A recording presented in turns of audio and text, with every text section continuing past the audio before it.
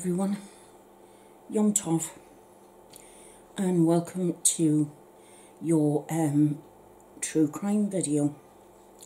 Now, I do apologise for the state of me this week, but as you'll be able to tell, um, my lymphedema has really had a good hold of my face this week, and when it's like this, um, I can't bend to wash my hair or anything like that or get hot water on my face. As you can see, um, I've been up 18 hours and yet the swelling's still quite bad. Um, we've got to admit this time I look as if I've done a couple of rounds with a boxer. But that's just how lymphedema takes me. I can't put any makeup on. I can't, you know, get my hair washed in case I get any soap in my eyes because my eyes still sore. Um, so please forgive my appearance. But anyway, I just wanted to talk to you tonight about the true crime that I have for you this week. And this one is a more recent uh, crime, and it happened in Toronto, in Canada, in December of 1999. Now, the person who was brutally murdered was a five year old girl called Farah Khan. And how it basically all started was a lady was taking her dog for a walk and it was in one of their sort of um, little parks, which was right up against the river uh, in Toronto. And she saw this couple, and they seemed to be burying black bags uh, under rocks. And she thought at first that they might be burying drugs or something like that. And she passed them, excuse me, and she heard them talking. But she later said to police that she thought they may be Spanish or what have you. She said they looked Spanish to her. So that's what sent them out looking for Spanish looking people, Latina looking people. But anyway, once they'd moved away and when she realised they'd gone, she went to pull these rocks out of the place that she'd seen them um, being buried. And she pulled out the first bag, and as she opened it, she saw a child's hand and then an arm. And she opened up another bag and she found part of a child's thigh. Well, as you can imagine, she was literally screaming. And she ran with her dog and she ran to get the police. This was, like I say, on the 7th of December 1999. So the police turned up, they took her statement, and they were sort of looking into um, people of sort of European appearance, especially particularly Spanish appearance, Latina appearance. But tips were coming in, but they weren't getting any further forward.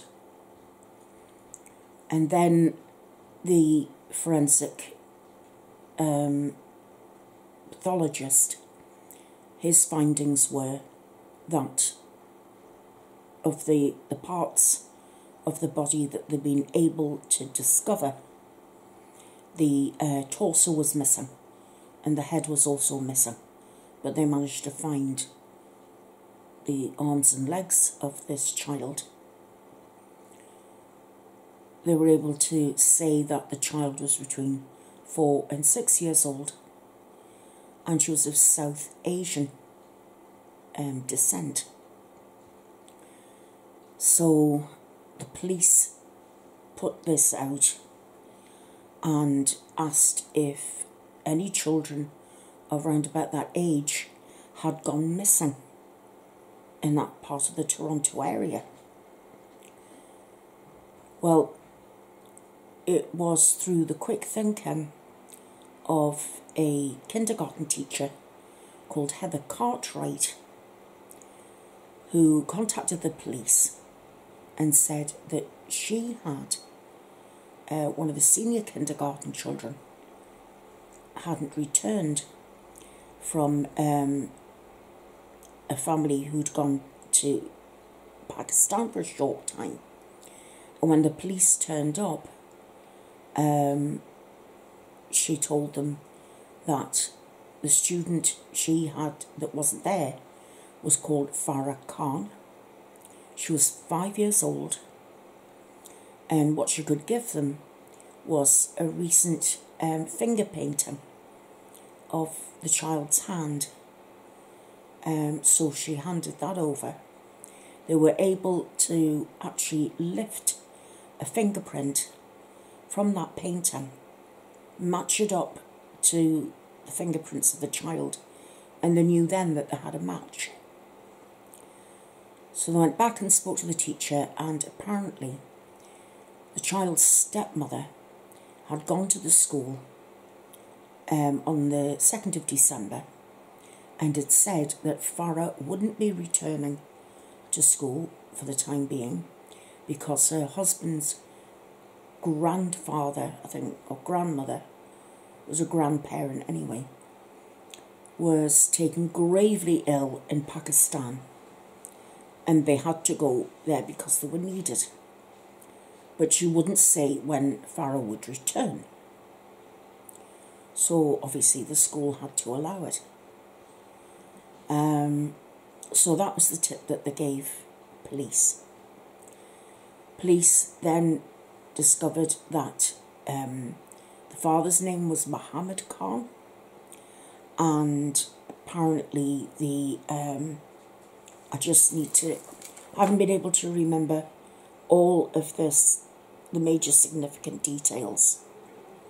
But um, the stepmother was called Kaniz Fatima. Um, he was 40 years old and she was 49. Now, when they arrested, well, when they brought them in for questioning, rather, yes, you can hear the cat talking to me again, can't you? When the police brought Mohammed Khan and Kaniz Fatima in for questioning, at first the story that they gave the police was that um, Mohammed Khan had he walked into the home to find um, Farah lying at the bottom of the stairs and her throat was cut. The next story that he gave was that he admitted that he'd flown into a rage and he'd hit her. She banged her head off the coffee table and she died. And um, he didn't realise what he was going to do. So he thought the best thing to do was to get rid of the body. Then he went back and changed his mind and said that um, because she'd cut her own throat, he didn't think anybody would believe him. So he decided to cut up her body and bury her. Then he went back to the original story of he'd lost his temper with her. He'd beaten her. She banged her head off the coffee table, died, and then thought he'd better get rid of the body. So he cut her body up into various parts. Now, Kaniz Fatima said that it was nothing to do with her. She was terrified of her husband's rages. So she tried initially intervening with him not to keep attacking the child who he, he appeared to hate because, in his words, she was a bastard child. He did not believe that she was the child of his and his first wife. Um, so that was that, and then it appeared to police that whenever he talked about Farah, he seemed to be very hateful towards her. And he did tell them that he didn't believe that um, he was her father, but because he and his first wife had an arranged marriage, they didn't get along.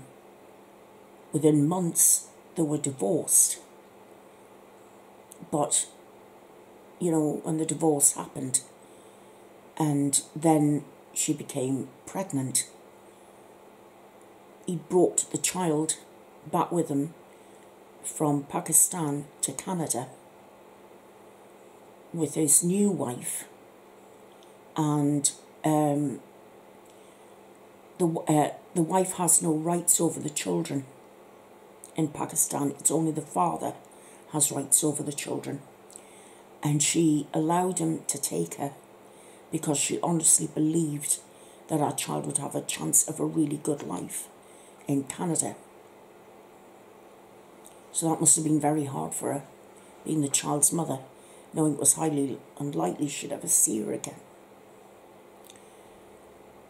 So, anyway, I'm going to keep refreshing my mind with parts to this case. So, anyway, we've established that her name, her age, um, she's born on the 4th of February, so that's her birthday. Um, 4th February 1994. Um, so, apparently, the officers questioned Muhammad Khan and he agreed to take them to where the torso and the head was. He only managed to recover the head. He said he couldn't remember where the torso had gone. He couldn't remember but they were able to recover a head. Um, Fatima, of course, said that she had absolutely nothing to do with it and she was innocent of everything and she blamed him entirely for Farah's murder. Um, so, the child's birth mother, Shahida Jabin, wanted to give Farah a burial in Canada.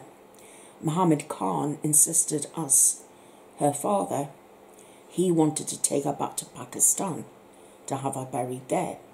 Well, of course, this was now impossible because he was under a charge for murder. There was no way the detectives were going to let him loose to go to Pakistan because he would disappear, they'd never find him.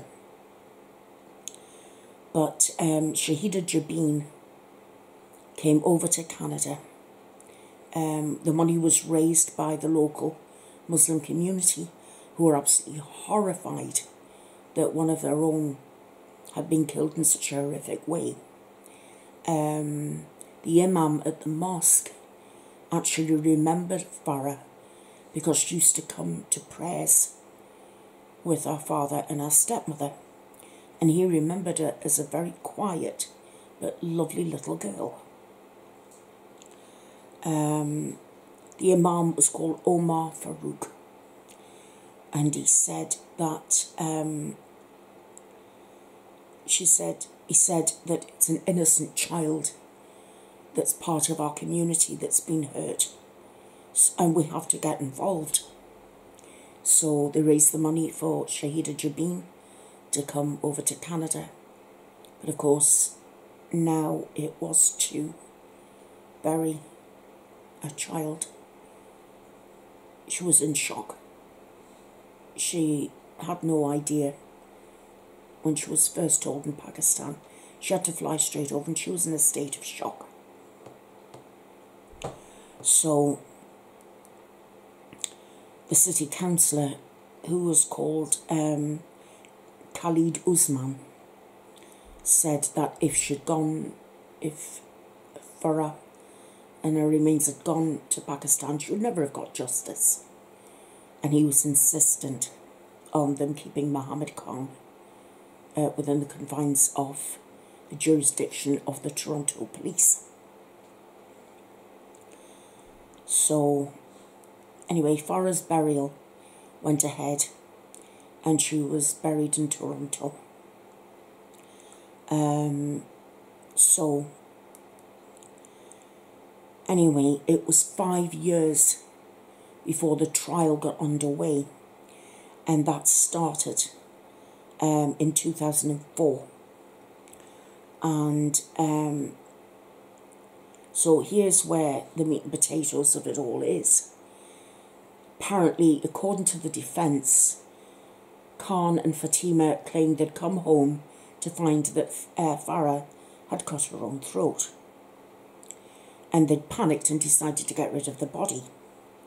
Then the story changed that Farah was misbehaving, that Mohammed had beaten her, that it was an accident, they didn't mean to kill her, it was just, you know, it just didn't make sense. None of their stories seemed to make any sense. Um, apparently, when her body was examined, the um, forensic specialist said that the cutting of her body just wasn't haphazard, it was a precision cutting. And they did find precision tools for, well, using on meat really, in Muhammad Khan's possession. So he already had the tools with him to do the deed. Um, there was extensive bruising all over Farah's body. Um, there was marks of slippers, ha- hairbrushes, and a rolling pin had been used on that little girl's body. Anyway, Mohammed Khan was found guilty of first degree murder.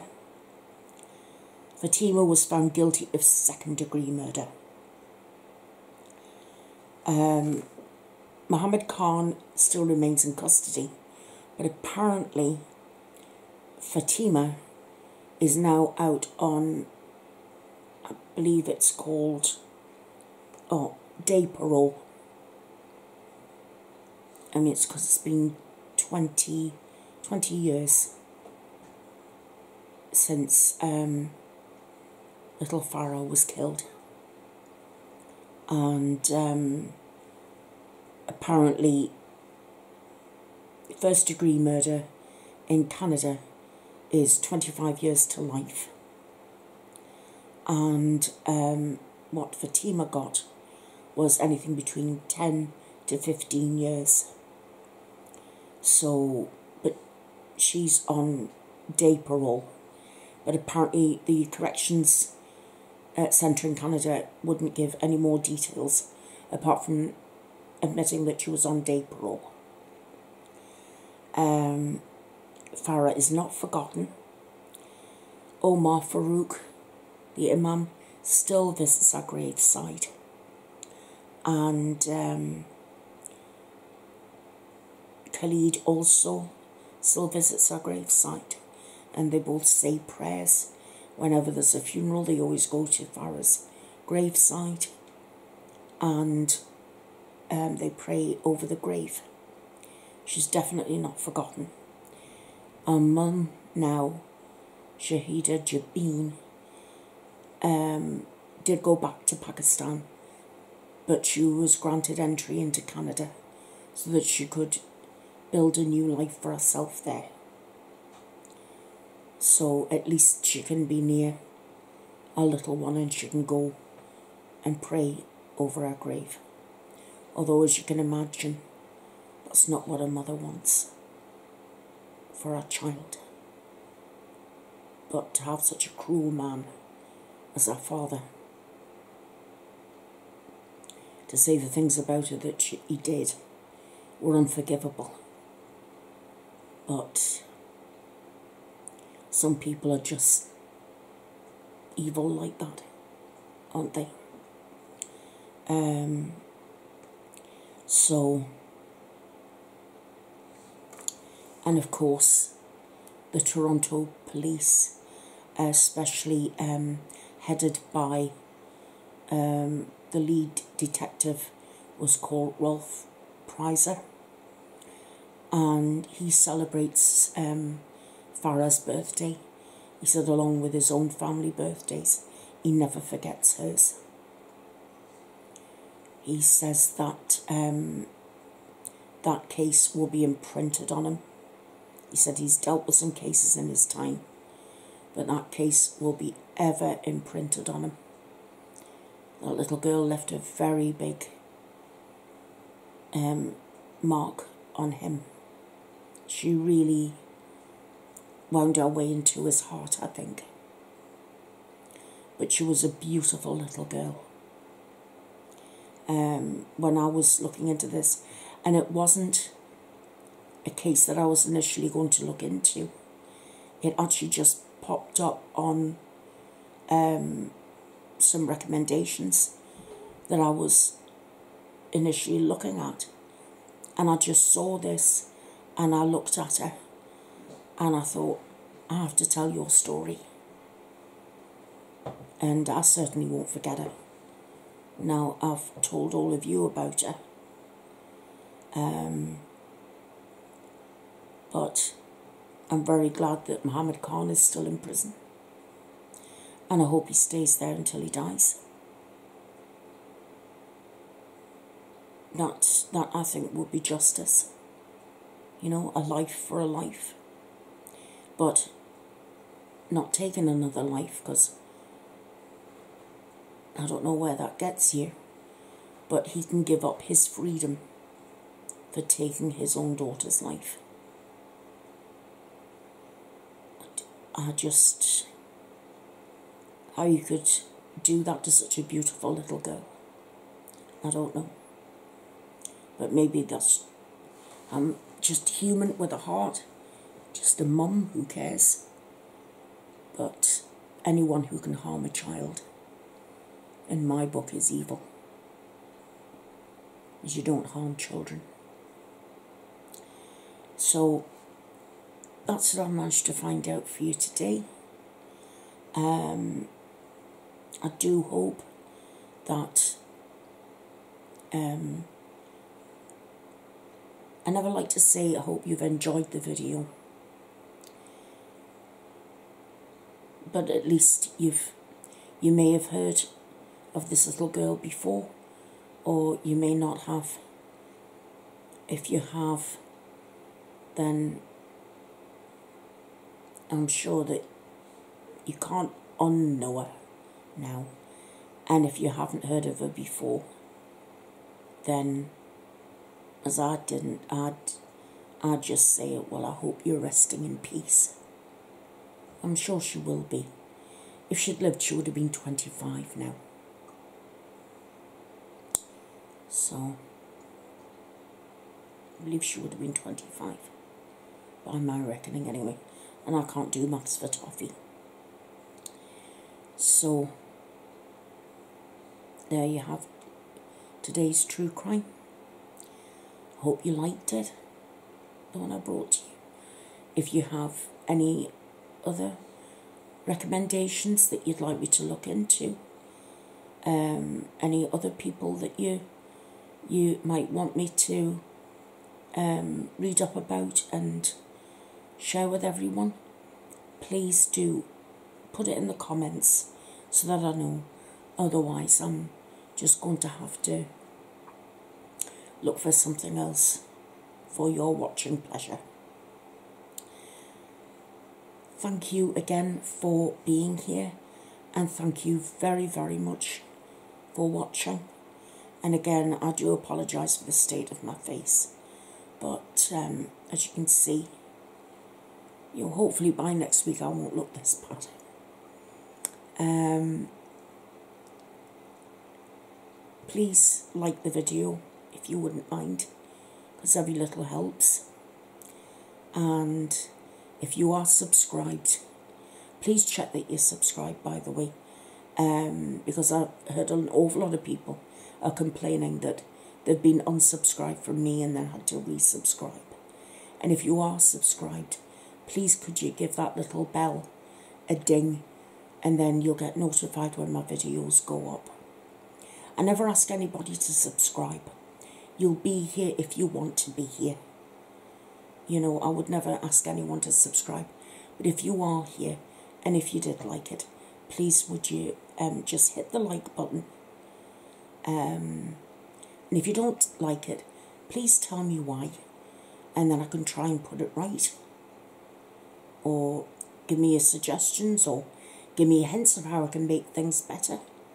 I'd rather talk it through with you rather than just have a dislike. Okay? But like I said, if you like and then just ring the bell and then you'll get notified. And I don't know why, but I'm not getting notified of any comments being left for me. So I have to keep coming back and checking. So I don't know what YouTube's getting up to. Uh, any, ooh, I haven't a clue. Not a clue. Not a clue. Until I get my words. One of these days I will get through a video without um, mincing up, messing up my words. I think. Anyway, I love you all. Please take care and stay safe. And could you send some healing eye um vibe eyes? Send some healing vibes to my eye because it's uh, still hurting a bit. Okay. And that's for all of you. Take care. I'll see you all again very, very soon. Bye bye for now.